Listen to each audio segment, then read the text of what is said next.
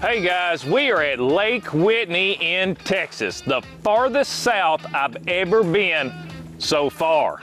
I've never seen this lake before, I've never been on it, and this one right here, guys, it's gonna put my skills to the test. My guest down here Lake Whitney is a striper guide who doesn't even crappie fish on this lake. So that's something we gotta get figured out, but first things first, I gotta get checked in.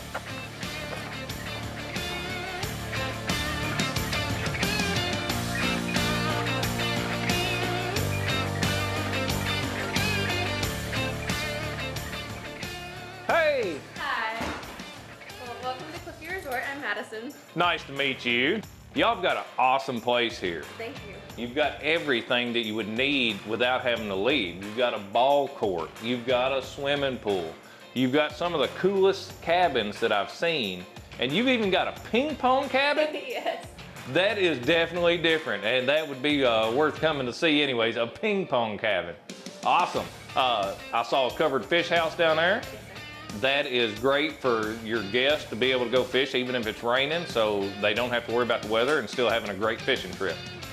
And I've got to see if y'all got any of them crappie out here. we do.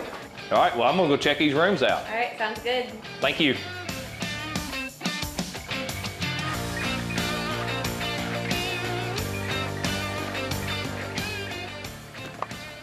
Well guys, I'm gonna show you just exactly how that I break down a lake on something I've never seen before. The very first thing I'm gonna do is check the weather app on my phone and I'm gonna find out what is going on with the weather so I know what to expect and what to watch out for.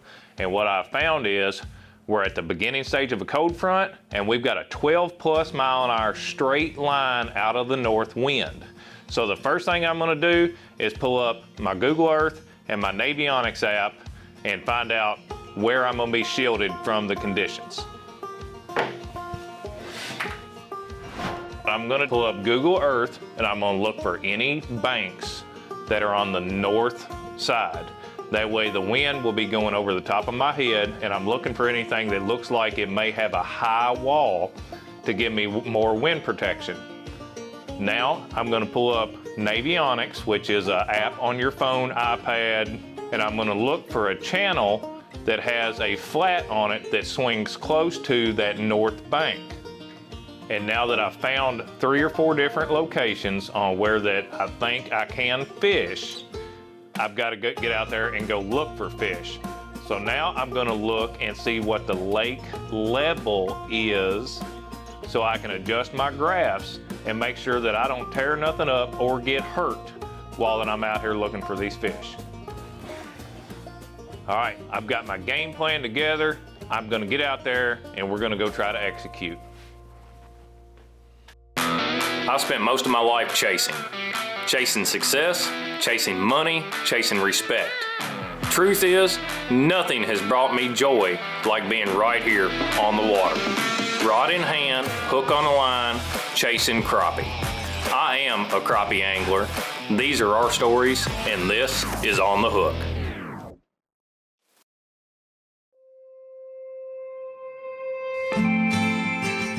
Hi, my name's Corey Vinson with Guaranteed Guide Service. Out here on Lake Whitney today. Uh, I've been on the lake since 1998. I grew up here around Whitney. I caught my first striper in 1976 and I've been chasing them and addicted to them ever since. And I'm hoping to learn a little something new. We have a great crappie population here and I just never have targeted those species. I actually get to take a day off from guiding somebody else. I'm hoping Jeremy takes good care of me, teaches me a lot, and puts the fish on the hook. Morning, sir. What's going on, Mr. Vincent? Hard work and clean living. Good to see you, man. How's it going, man? Man, I'm excited to learn a little bit about crappie fishing today. Well, I got to tell you, I'm going to cost you some money today. Oh, goodness. I come down here yesterday and I flat got on them. Well, good, good. I'm excited to see how it's done. Well, man, uh, we got everything uh, going against us today, but we going to go out there and see if we can't catch some. Well, I'm excited, my Let's friend. go, I'm man. excited. Whitney, from what I've heard, is mainly a striper lake, but we're going to put this dude on a map for some of these crappie.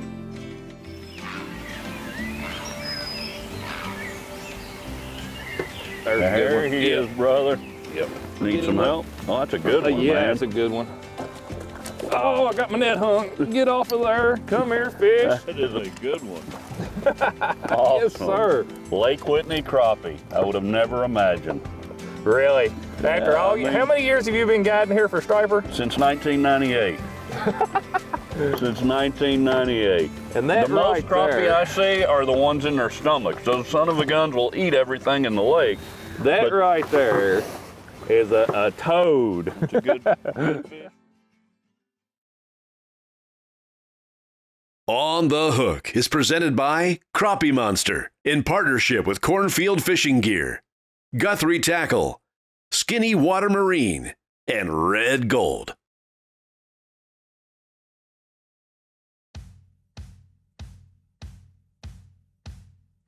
Well, guys, we are out here. This is Lake Whitney, and man, it's a really cool lake.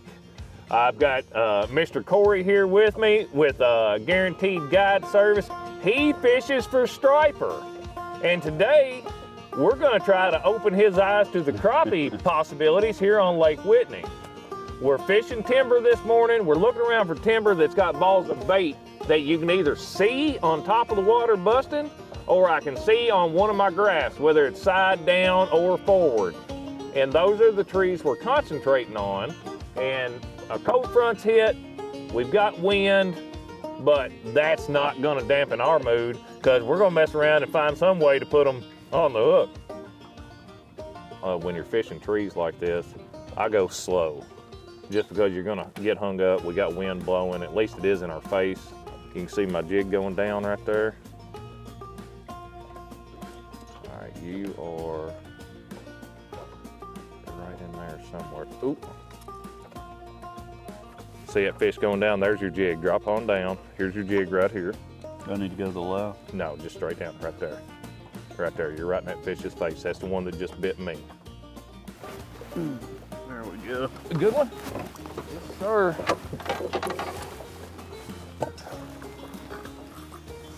He pumped it good. He thumped it right. Pumped it good. he knew the assignment. That's right. Even old broke down striper fisherman gets lucky every once in a while. Boy, he choked that thing He, too. he ate it. He ate it. I mean, he flat ate it.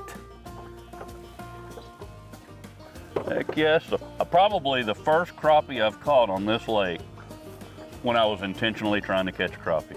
Really? Yeah, and I've been here all my life. It's just one of those things, you know, it's just, uh, you know, the striper fishing is what this lake's known for, but they're thick in here, too. These crappie are thick in here as well. That's one of the reasons I wanted to come here. Some of my buddies told me that there was giant crappie in here, and I said, "Well, I've never heard of it. Where's it at?" Well, you don't hear of it if you don't striper fish. That's exactly right. well, that's something we need to change. So let's go down there. Let's and, do it. And that's what we did. yes, sir. Good fish, man. Good fish. It's even starting to feed up a little bit there.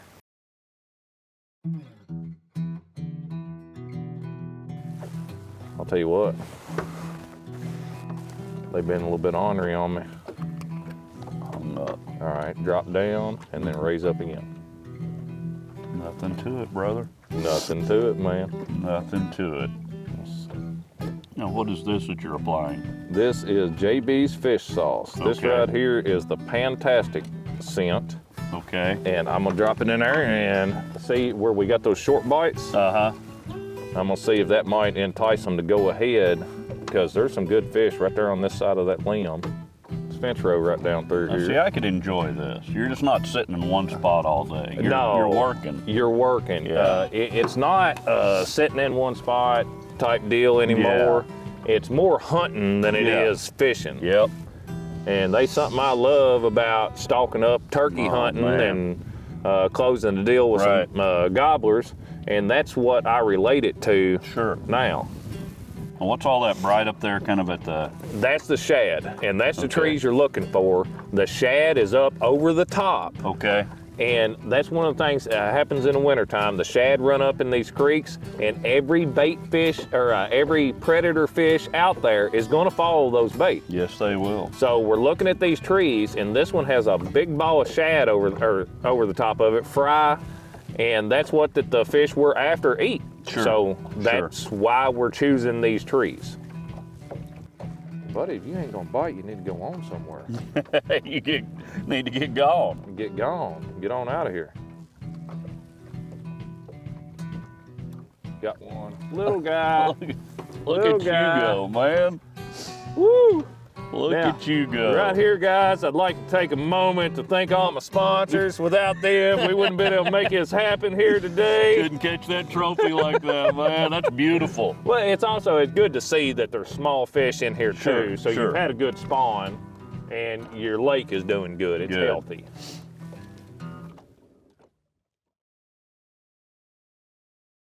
On the Hook is presented by Crappie Monster in partnership with All Aboard Marine, HH Rods and Reels, PTG Outdoors, and JB's Fish Sauce.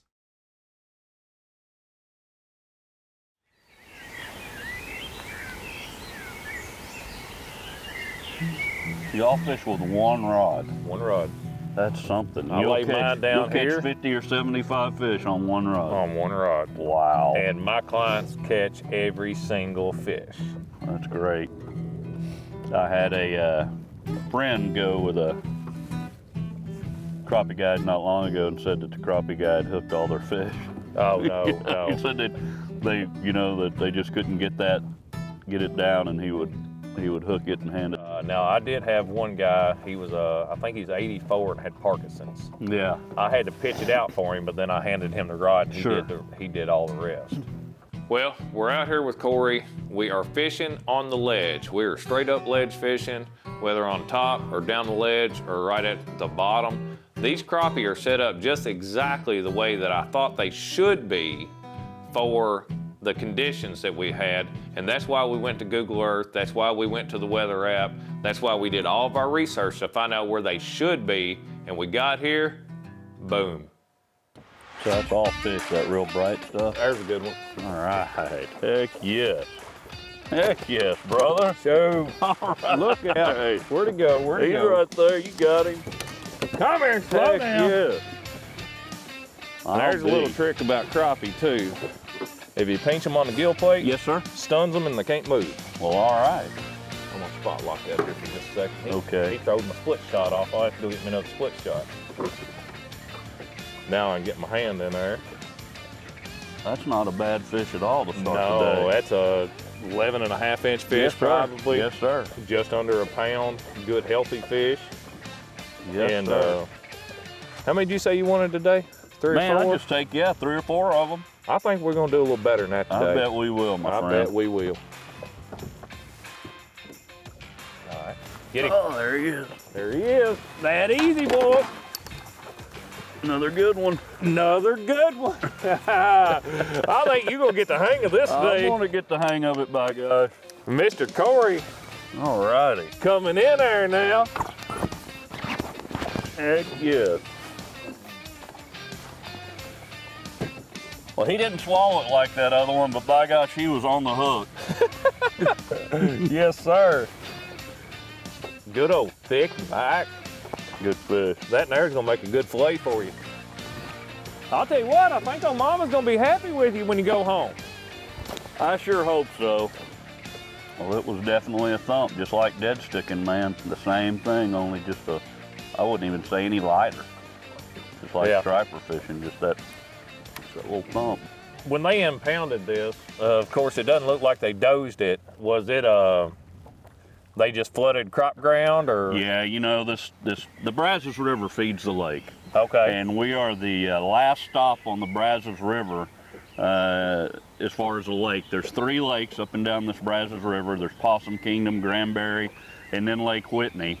And uh, Lake Whitney was built really for two different reasons. And it was built uh, in the late 40s, and it was actually impounded in the 50s. And that's when it was open for, uh, you know, for boat traffic, recreational use, so on and so forth. okay. And uh, the majority of this this uh, this ground was uh, was cropland, mainly peanuts. It was a, a Peanuts. big bunch of peanut farming down in here, okay. and uh, they yeah, it's uh, also was built for flood control. Uh, you get a little further south down on the Brazos River, and there's a tremendous amount of uh, uh, rice farming, um, and just various crops. How many acres is it? It's it's right at 24,000 acres. So it's, a good sized good, lake. Good sized lake. It's kind of a long, lanky lake, um, and uh, it fishes big because you know you can. Oh, you, You- got hollers out through Oh, here everywhere it- it that just- uh, you can get up in. Yes, sir. From a you know catfishing standpoint, or a you know you just got lots of room to drift, but still Yeah. we've got quite a bit on the, especially on the north end of the lake, uh, quite a bit of, of structure for crappie and bass fishing as well. Okay. Get in there and see if we can't find another crappie or two. Amen. On the Hook is presented by Crappie Monster in partnership with Yamaha, Avid Boats, and Red River Marine. Man, what was it that got you into fishing? Just grew up fishing, brother. Just grew up doing Just it. grew up fishing and uh, becoming a guide just was accident. I was working in sales up in Dallas and What uh, were you selling? had a, alarm products. Alarm products. Yeah, Okay. uh-huh, for an alarm dis- distributor. Okay. And anyway, um, my wife and I had some, you know, had a child, and I decided I wanted to, to raise them down here. We've got a little family place down here, Okay. so we moved back down to Whitney. She had just graduated college and uh, as a teacher, and I started uh, running the beer joints a little bit and bought me a boat, and that's where I met two or three guides, and they started asking me to help them, and I thought, well, if these hillbillies can do it, I know damn well I can do it. so, no, I've really enjoyed it. It took a long time to get to the point where we are uh, now, you know, with multiple boats and a couple locations, and Got one. got him. Heck Got yes. him. Not a monster, but by gosh, he's probably 10 inches. Well, that's kind of, well, come here. We're gonna have to measure this one, to see if he if he'll eat. He's close. He's close to 10 inches. He is close.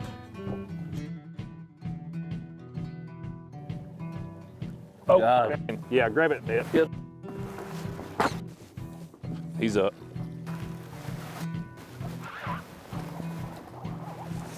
Heck yeah, baby. Good one. Yes, sir. Good fish. You don't care to smack that spot lock. That one was sitting down there by itself, and that there choked it.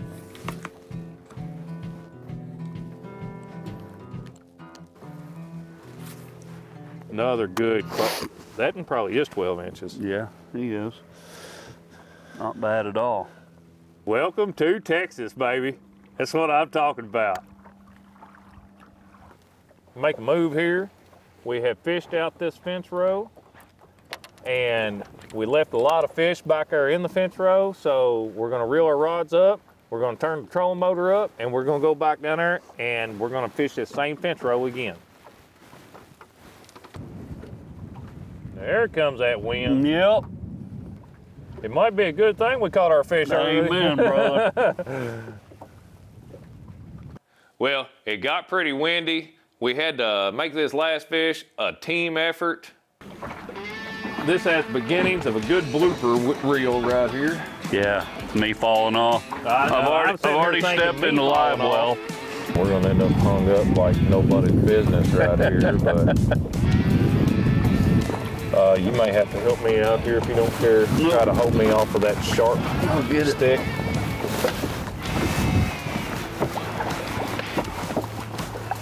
I was hoping to be able to get. There we go. There we go. All right. All right. Thank you. This is teamwork right here, guys. That's a good one. Oh, get back in there. That's Oh, a good get one. trolling motor. Swim away, swim away, big guy. Oh, that, that's the heaviest fish of the day. I think you are correct, sir. And I just missed a big one in there. Well, he ate it too. Oh man, he choked it way down deep. As I was dropping on that fish, Corey took one for the team and went back and held the back end of the boat off of the stump. And that right there is teamwork at its finest. And I do believe that is the heaviest fish we've caught today. You can see the belly on it where it's been out here starting to feed up for this uh, winter bite. It's getting a little bit too windy out here for me. I had to call in some reinforcements to keep me out of that tree to get that last fish in the boat. I think it's about time to go find some dry land. I'll tell you what, we have flat worked our butts off today, They made us work. but we have got a mess Yes, of big have. crappie right here in Texas, Lake Whitney. I love it. Yes, sir. I don't know about you, but I'm about ready to call it today. This wind has beat us up. The wind has got us. Good It has been a pleasure, though. So Yes, sir. informative. Man, So informative. Thank you. that has been a experience for sure. Yes, sir. Y'all got a great crappie lake right here. Well, guys, what do you think about Lake Whitney? Was that last catch something or what? It legit took both of us to get that one in the boat. But we are going to continue our tour of Texas, the Lone Star State, right here, right now. We're hitting the road and we're heading further south. Where are we going to go to? You'll find out next week when we see you on the hook. Oh, I need a lake day.